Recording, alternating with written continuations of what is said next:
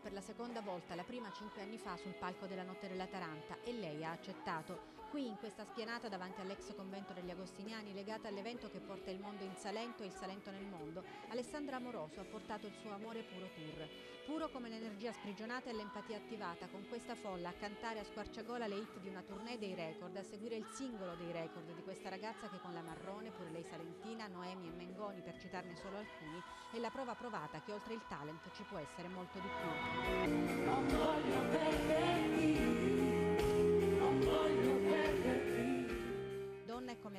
Artista, raffinando tecnica e look fino al successo puro e certificato, 11 dischi di platino e live sold out nei templi nostrani della musica come l'Arena di Verona. Da lì è partito il suo tour in primavera, poi le tappe estive che riempiono le piazze e i cuori, 20 brani, tra questi gli 11 inediti che concluiranno nel prossimo attesissimo CD in uscita in settembre, quello del sodalizio artistico con Tiziano Ferro che la sottrae dal limbo delle eterne emergenti per farne realtà pienamente formata della musica italiana. Dopo questo bagno rinfrancante di salentinità, il tour dell'amoroso continua per concludersi il 24 a Taormina.